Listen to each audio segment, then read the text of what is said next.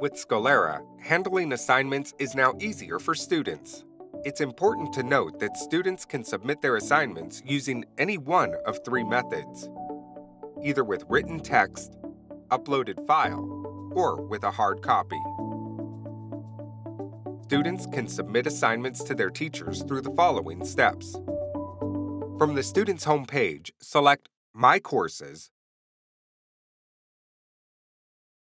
then select the course related to the assignment you wish to submit. From the main menu at the top, select Assignments. Select the course topic the assignment was created for using the Topic field. Next, select the available assignment you wish to submit. You will then move on to the Assignments page, which includes the assignment's details. Click on View Content to see assignment details. Then, click Solve Now to begin solving the assignment. If it is required that the assignment is submitted as a hard copy, the icon for Solve Now will not appear.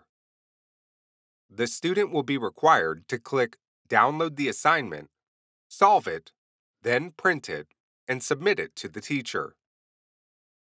If the assignment must be submitted as written text or an uploaded file, the icon for Solve Now will appear. Once clicked on, a text field will appear if the assignment is to be submitted as a written text. The Upload File icon will appear if the student is required to submit it as an uploaded file. The student should be aware of that in order to submit the assignment correctly. After completing the steps, click on Submit. A message will appear stating that the assignment has been submitted successfully. If you like this video, share it with your friends to spread the benefits. We also look forward to your comments and inquiries. If you're watching this video on YouTube, subscribe to our channel and press on the notifications button afterwards to receive all our new videos regularly.